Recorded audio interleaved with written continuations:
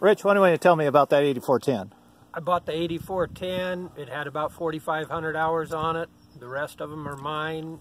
Uh, haven't had any problems inside the engine, rear end, transmission, hydraulics. Everything's just works as as when I bought it.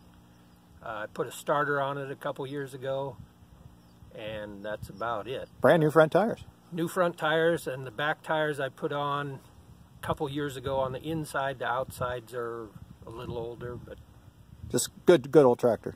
Starts easy, runs a little bit rough when it first starts for a few seconds, and then it smooths right up, and it's a nice, nice tractor. No issues. Okay, thank you, Rich.